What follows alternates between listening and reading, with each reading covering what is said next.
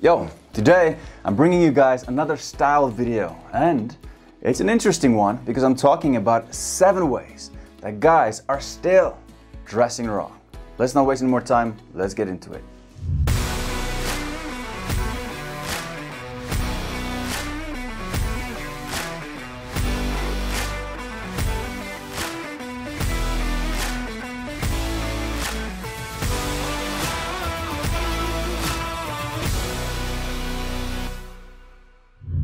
Now, let me just make this very clear at the start of the video.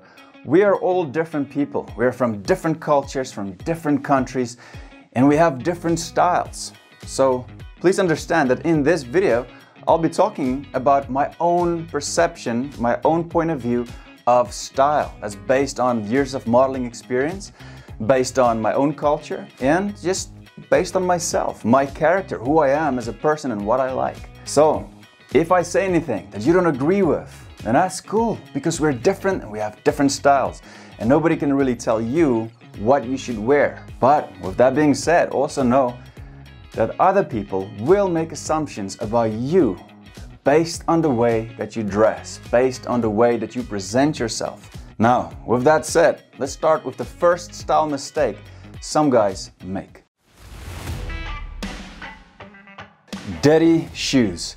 I just don't get, I, I don't understand guys with dirty shoes. I mean, listen, your shoes talk a lot louder than your words, than your mouth, because it tells people a lot about your character. I mean, you can't pitch up for that first date or job interview with dirty shoes or anywhere else for that matter.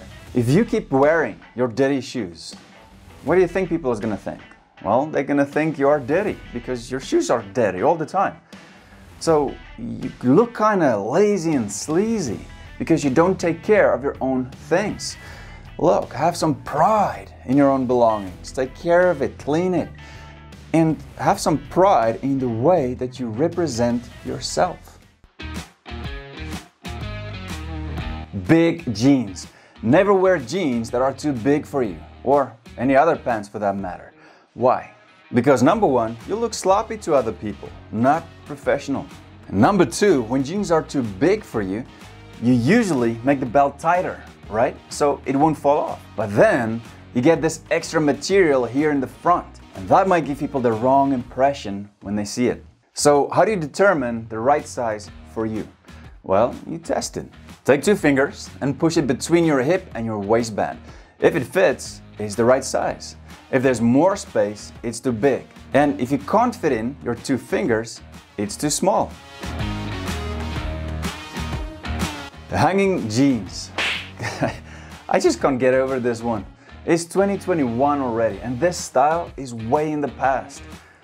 It's really so disrespectful because no one wants to see your underwear brand or your bum hanging out all the time.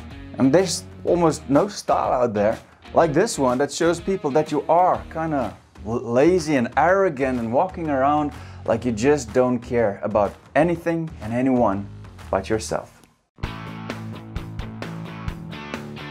Big brand names.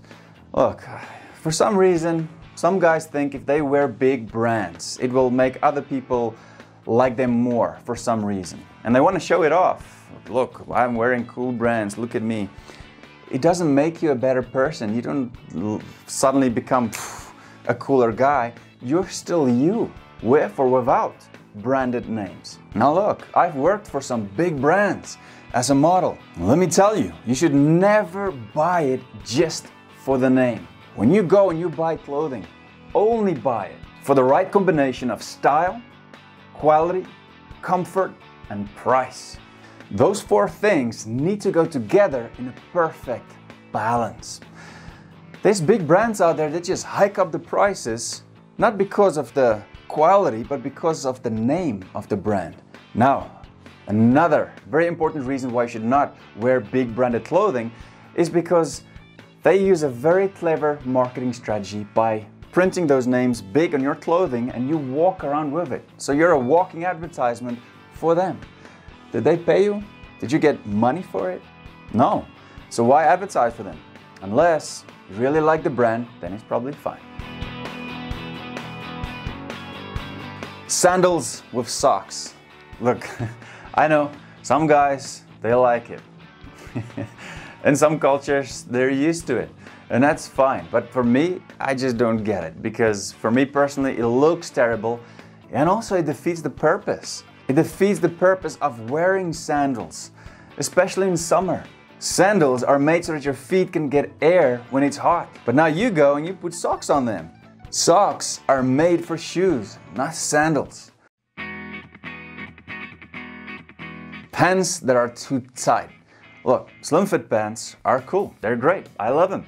Especially if you go and tailor them to fit with your unique legs, right? Because everybody's legs are different. But when they're too tight, oh my goodness, it looks terrible. And I can feel your pain, especially in the crotch area. No, just no, guys.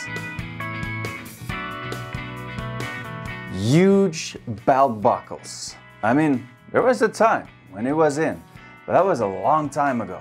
So unless you're a cowboy, then don't do it. If you are a cowboy, then that's cool. You go for it. You do your thing. But if not, maybe it's time you change your style. Now, just because you've watched all the way to the end, I've got a bonus tip for you.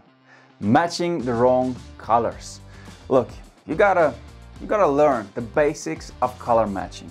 If you just wear the same color for your whole outfit, it's not gonna look great. Well, unless it's neutral colors, like black, for example.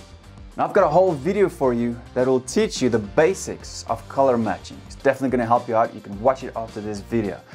Now, when it comes to style, always remember this.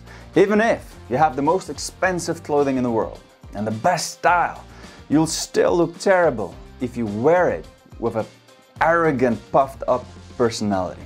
Mm -mm. The best thing that you can wear is confidence with humbleness. Now, always remember, Life is short, so don't waste it. I'll see you in the next video. Cheers.